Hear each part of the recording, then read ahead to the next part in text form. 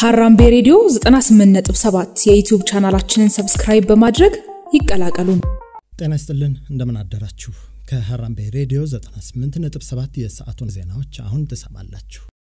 የግሉ የጤና ዘርፍ አገልግሎት ከህብረተሰቡ የመክፈል አቅም በላይ እየሆነ መጥቷል ስለመባሉ ለ208 የትምህርት ፕሮግራሞች የዩኒቨርሲቲ መውጫ ፈተና መዘጋጀቱ ስለመገለጹ በደቡብ ክልል ያሉ አርሶ አደሮች በአፈር ማዳበሪያ እጦት እየተቸገሩ ነው ስለመባሉና ሌሎችም የሀገር ቤትና ዓለም አቀፍ ዜናዎችን ዮሴፍ ዳሪዮስ አሰማችኋለሁ። የግሉ የጤና ዘርፍ አገልግሎት ከህብረተሰቡ የመክፈል አቅም በላይ የሆነ መምጣቱን ኢሰመኮ አስታውቋል። የግሉ የጤና ዘርፍ የአገልግሎት ክፍያ ከህብረተሰቡ የመክፈል አቅም በላይ የሆነ መምጣቱን የኢትዮጵያ ሰብአዊ መብቶች ኮሚሽን ኢሰመኮ ባቀረበው የጥናት ጽሑፍ አስታውቋል። ኮሚሽኑ ይፋ ያደረገው ጽሑፍ እንደሚያመላክተው የግሉ የጤና ዘርፍ አገልግሎት ከመንግስት የጤና ዘርፍ አገልግሎት ጋር ሲነጻጸር ከጊዜ ወደ ጊዜ ከህብረተሰቡ የመክፈል አቅም በላይ እየሆነ መሆኑንና ለዚህም የሕክምና ግብዓቶች አቅርቦት እጥረትና ዋጋ መናር እንዲሁም የተሟላና አመርቂ አገልግሎት አለመኖር ምክንያት ናቸው ተብሏል። በግሉ የጤና ዘርፍ የሚሰጡ አገልግሎቶች ለህብረተሰቡ በፋይናንስ ተደራሽ እንዲሆኑ የአሰራር የፖሊሲና የህግ ማሻሻያ ያስፈልጋቸዋል ያለው ኮሚሽኑ በመንግስት የጤና ተቋማት ላይ የአገልግሎትና የአቅርቦት ማሻሻያና ተገቢ ቁጥጥር በማድረግ ህብረተሰቡ አማራጭ እንዲያገኝ ማድረግ፣ መሰረታዊ የጤና አገልግሎትን ተደራሽ ለማድረግ የጤና መድህን አገልግሎት ማስፋፋትና የግል የጤና ተቋማትም የሚሳተፉበት አሰራር መዘርጋት ያስፈልጋል ሲል ምክረ ሀሳብ ሰጥቷል።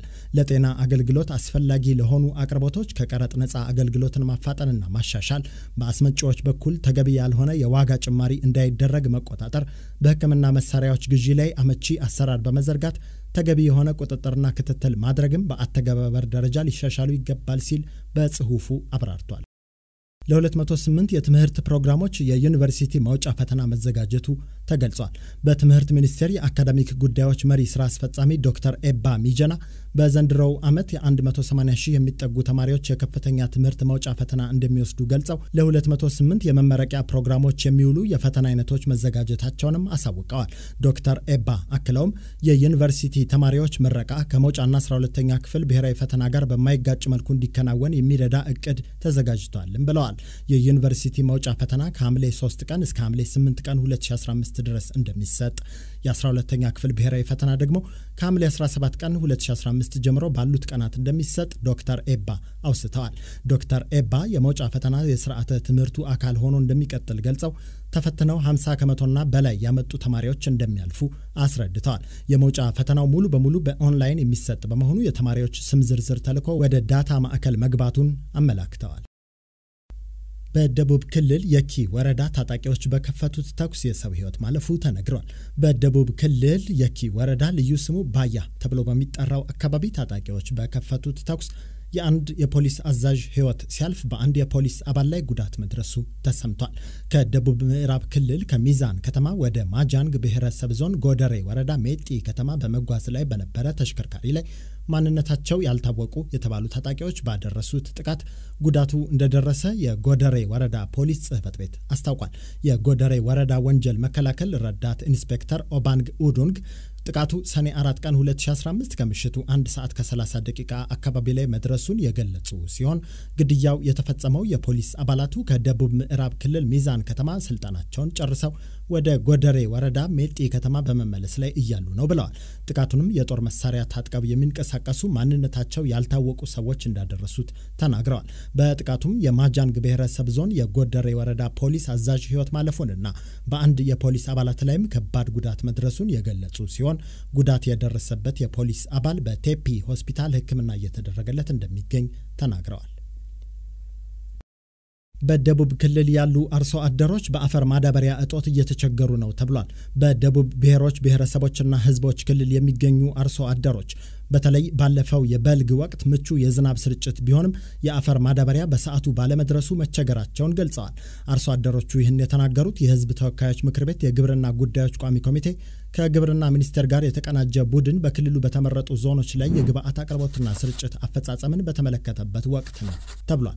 የቋሚ ኮሚቴው ልዑክ በበኩሉ በክልሉ ባሉ ሌሎች ዞኖች ችግሩ ተመሳሳይ በመሆኑ የአርሶ አደሮች የዘር ጊዜ ሳያልፍ የአፈር ማዳበሪያ በሰዓቱ እንዲደርሳቸው የፌዴራልና የክልል አመራሮች መስራት እንዳለባቸው አሳስቧል። የግብርና ሚኒስቴር የክልሉ ግብርና ቢሮ ኃላፊዎች በምላሻቸው ችግሩ የተፈጠረው ከውጭ ምንዛሬ እጥረት ጋር የተገናኘ መሆኑን ገልጸው የአፈር ማዳበሪያው እስከ ሰኔ 20 2015 ድረስ ለአርሶ አደሮች እጅ እንደሚደርስ ለቋሚ ኮሚቴው ማስረዳታቸውን ከሕዝብ ተወካዮች ምክር ቤት የተገኘው መረጃ ያመለክታል። ለትግራይ ክልል የአፈር ማዳበሪያ ግዢ እየተከናወነ ነው ተብሏል። በሰሜን ኢትዮጵያ ጦርነት ምክንያት የ2015/16 የምርት ዘመን የአፈር ማዳበሪያ ግዢ ቀድሞ ሳይደረግለት ለቆየው የትግራይ ክልል ግዢ እየተፈጸመ መሆኑ ተነግሯል። ለክልሉ እየተገዛ ያለው የማዳበሪያ አጠቃላይ መጠን 700 ሺህ ኩንታል ሲሆን 300 ሺህ ኩንታል የሚሆነው የኤንፒኤስ ማዳበሪያ አይነቶች ሲሆኑ ቀሪው 400 ሺህ ኩንታል የዩሪያ አፈር ማዳበሪያ አይነት መሆኑ ታውቋል። የግብርና ስራዎች ኮርፖሬሽን ዋና ስራ አስፈጻሚ አቶ ክፍሌ ወልደ ማርያም እንዳስታወቁት የዘንድሮ በጀት ዓመት የክልሎች የማዳበሪያ ፍላጎት ሲቀርብ በትግራይ ክልል የሕግ ማስከበር ስራ እየተሰራ ስለነበር በክልሉ የነበረውን መረጃ የግብርና ሚኒስቴር በወቅቱ ማግኘት አልቻለም ነበር ብለዋል። ከስምምነቱ በኋላ ግን የተጨማሪ ማዳበሪያ ግዢ በመንግስት ግዢና ንብረት ባለስልጣን ተፈቅዶ የዩሪያ ማዳበሪያ በውስን ጨረታ ውል ተገብቶ በአሁኑ ወቅት የ letter of credit ሂደት ላይ እንደሚገኝ ተጠቅሷል። በተጨማሪም የግብርና ሚኒስቴር የአፈር ማዳበሪያ አቅርቦትና ስርጭትን በተመለከተ እንደገለጸው ከጅቡቲ ወደብ ወደ ሀገር ውስጥ የገባው 6.2 ሚሊዮን ኩንታል የአፈር ማዳበሪያ ውስጥ 5.7 ሚሊዮን ኩንታል የሚሆነው ለአርሶ አደሮች መሰራጨቱን አስታውቋል። የሚኒስቴሩ የግብርና ኢንቨስትመንትና ግብአት ዘርፍ ሚኒስትር ዴኤታ ዶክተር ሰፊያ ካሳም ክልሎች በመጋዘን ያለውን የአፈር ማዳበሪያ ለአርሶ አደሮች በፍጥነት እንዲያሰራጩ አሳስበው በቀጣዮቹ ሁለት ሳምንታት ከሁለት ሚሊዮን በላይ ተጨማሪ የአፈር ማዳበሪያ ወደ ሀገር ቤት እንደሚገባ ተናግረዋል። የኢትዮጵያ መልሶ መቋቋምና መገንባት የምክክር መድረክ እየተካሄደ መሆኑ ተገልጿል። የኢትዮጵያ መልሶ ማቋቋምና መገንባት የምክክር መድረክ በአዲስ አበባ እየተካሄደ ሲሆን የምክክር መድረኩ ዓላማ በሰሜኑ የሀገሪቱ ክፍል በተካሄደው ጦርነት ሳቢያ የደረሰውን ጉዳትና መልሶ ማቋቋም የፍላጎት ዳሰሳ ጥናት ላይ ምክክር በማድረግ ማህበራዊ ግንኙነትን ለማደስ እንደሆነ ተገልጿል። የደረሰውን ጉዳትና መልሶ ማቋቋም ፍላጎት የዳሰሳ ጥናት በሸፈናቸው ክልሎች በአጠቃላይ 22.69 ቢሊዮን የአሜሪካን ዶላር ውድመት መድረሱ የተነገረ ሲሆን በማህበራዊ፣ በምርት፣ በመሰረተ ልማትና በሌሎች ዘርፎች ላይ ጉዳት መድረሱ ተገልጾ ለመልሶ ግንባታና ማቋቋም ጥረት እንደሚያስፈልግም ተነግሯል። በምክክር መድረኩ የገንዘብ ሚኒስቴር ሚኒስትር አቶ አህመድ ሽዴ፣ የክልል ርዕሳነ መስተዳድሮች፣ የብሔራዊ ተሃድሶ ኮሚሽን ኮሚሽነር አምባሳደር ተሾመ ቶጋ፣ ሚኒስትሮች፣ በኢትዮጵያ የተለያዩ ሀገራት አምባሳደሮች፣ የልማት አጋሮች፣ የተቋማት የስራ ኃላፊዎችና ተወካዮች መገኘታቸው ታውቋል። ከኢትዮጵያ ውጭ በተሰሙ ዜናዎች 99 በመቶ የወባ ትንኝ ንክሻን የሚከላከል መድኃኒት በሳይንቲስቶች መገኘቱ ተገልጿል። ሳይንቲስቶች 99 በመቶ የትንኝን ንክሻ የሚከላከል መድኃኒት ያገኙ ሲሆን መድኃኒቱ የወባ ትንኝ የሰው ልጆችን ጠረን መለየት እንዳትችል የሚያደርግ እንደሆነ ተገልጿል። የወባ በሽታ በዓለማችን በወባ ትንኝ ንክሻ አማካኝነት የሚመጣ የብዙ ሰዎችን ሕይወት በመቅጠፍ የሚታወቅና እስካሁን ሙሉ ለሙሉ በሽታው የሚያጠፋ መድኃኒት ያልተገኘለት ነው ተብሏል። የእስራኤል ሳይንቲስቶች ግን 99 በመቶ የወባ ትንኝ በሰው ቆዳ ላይ እንዳያርፍና ንክሻ እንዳይፈጥር የሚያደርግ በቆዳ ላይ የሚቀባ ኬሚካል መድኃኒት እንዳገኙና ከሚቀጥለው ዓመት ጀምሮ መድኃኒቱን ለገበያ እንደሚያቀርቡ ተናግረዋል። በሂብሩ ዩኒቨርሲቲ ተመራማሪ የሆኑት ዶክተር ጆናታን ባህቦት እንዳሉት ኬሚካሉ በሰው ልጆች ቆዳ ላይ ሲቀባ የወባ ትንኝ የሰውን ልጅ ጠረን መለየት እንዳትችልና በሰዎች ቆዳ ላይ እንዳታርፍ የሚያደርግ ነው ብለዋል። ይህ ኬሚካል ለዓመታት በሙከራ ላይ ቆይቷል የተባለ ሲሆን 99 በመቶ ውጤታማነቱ መረጋገጡንም በዘገባው ላይ ተጠቅሷል። የሰሜን ኮሪያው መሪ ኪም ጆንግ ኡን ከቭላዲሚር ፑቲን ጋር እንደሚሰሩ ቃል ገብተዋል። ኪም ጆንግ ኡን የሩሲያ ብሔራዊ ቀንን ምክንያት በማድረግ ለፑቲን ባስተላለፉት መልእክት ዩክሬንን ለመውረር ያደረጉት ውሳኔ ትክክለኛነትን አድንቀው የፒዮንግያንግ መሪ ለሞስኮ ሙሉ ድጋፍና አጋርነት እንደሚሰጡ ገልጸዋል። ፍትህ እንደሚያሸንፍ እርግጠኛ ነኝ፣ እናም የሩሲያ ሕዝብ ለድል ክብር መስጠቱን ይቀጥላል ሲሉም ኪም በመልእክታቸው አስተላልፈዋል ተብሏል።